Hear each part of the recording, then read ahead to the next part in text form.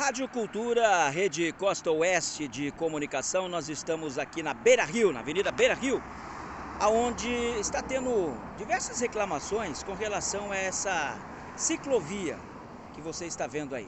Essa ciclovia, ela corta toda a Avenida Beira Rio e foi feita para justamente ajudar os, os ciclistas que vêm trabalhar aqui em Foz do Iguaçu, que moram no Paraguai, que vêm trabalhar aqui em Foz do Iguaçu e também aqueles que moram aqui em Foz do Iguaçu e precisam cortar essa avenida aqui.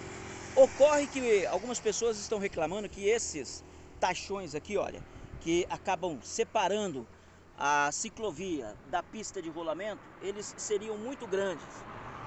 Olha aí, esses taxões, tá vendo? Tem várias marcas de pneus aqui já, ó.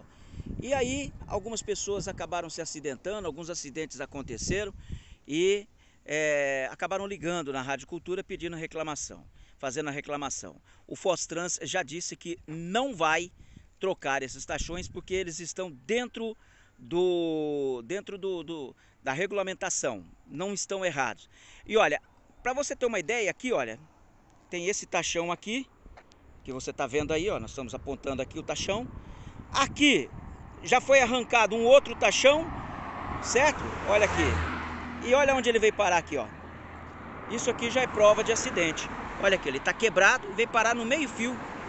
Entendeu? Então muita gente acaba se perdendo aqui e acaba batendo o carro, estourando pneus, motociclista também estourando pneus de moto. Enfim, essa é a reclamação que a gente traz aqui na Rádio Cultura, Rede Costa Oeste de Comunicação.